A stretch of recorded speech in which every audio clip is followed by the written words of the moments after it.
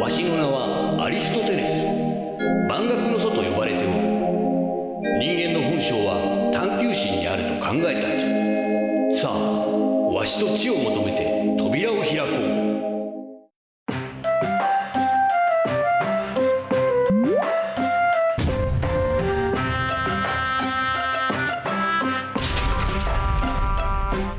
ここは熊本市西区にある創上大学じゃ。語学部それぞれの分野でプロフェッショナルを育てておるぞ。戦後こう焼け野ヶ原に、えー、これから日本の復興を目指すためにはやはりものづくり技術者が必要だろうということで、えー、始まりましたのでやっぱり、えー、そこが原点ではないかなというふうに思っております。本学は今まで、えー、ずっと理工系の大学ということでそういったものづくり人材をずっと育成をしてまいりました。でその基本は、えー、実学主義ということでやってまいりまして、えー、実学主義というのはあの学生諸君が何を学んだかではなくって何ができるようになったかを求めるようにいたしております。本学の教育は英語において、話すということもまた聞くということもあるいは書くということも今の学生諸君に弱いところをですねしっかりカバーしてやろうということでやっておりまして全てネイティブによる英語教育というのを実践しておりますふむふむ専門教育に加え IT スキルや英語力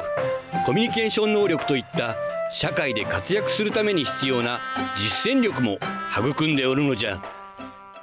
学生諸君が一番大切なのは、えー、これからの人生を自分がどう生きるのかでそのためには学生諸君が自分が何をやりたいのか自分の夢は何なのかそういったものをしっかり掴んでほしいなというふうに思っておりますですから、えー、本学の一番大切なところは、えー、学生諸君の夢を育て、えー、そしてそれが実現できるように、えー、教育をしていきたいなというふうに思っているところであります。心に響く笑顔のリレー教職員の皆さん方にも常に笑顔と感謝の気持ちを持ってですね仕事に臨んでもらうようにお願いをしております。おかげさまで最近ですね学生諸君も非常に明るくなってまいりました。1967年に熊本工業大学として開学した創上大学は今年で開学50周年を迎えたそうじゃ。めでたいの2005年には薬学部を設置。高度複雑化する医療に対応できる薬剤師の養成をしておる。2008年には工学部宇宙航空システム工学科にパイロット養成コースを設置。国内の大学初となる航空機使用事業所の許可を受けた訓練施設を持っておるぞ。将来エアラインパイロットや航空整備士を目指す学生たちが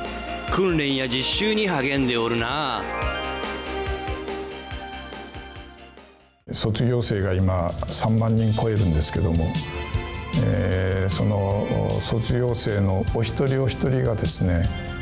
本学の50周年の歩みの奇跡だろうというふうに思っております。創上大学に対するですね、えー、まあ一種のノスタルジーこれを汚さないようにですねどうやって、えー、努めていくかというのが、まあ、本当に大きな課題ではないかなというふうに思っています。まあ、本学もものづくり技術者を育成するということでやってまいりました。将来に向かって、えどうあるべきかというそういう姿を常に求めながら卒業生の皆様方が誇りに思ってくれるような、まあ、そういう大学にしていかなければいけないというふうに思ってます。学生のですね夢を育みながら、えそれぞれの学生の個性を大切にしてそして、え学生の持っている無限の可能性をですね、えー、育んでいければいいなというふうに思ってます。創上大学生は自分のなりたい姿を見据えながら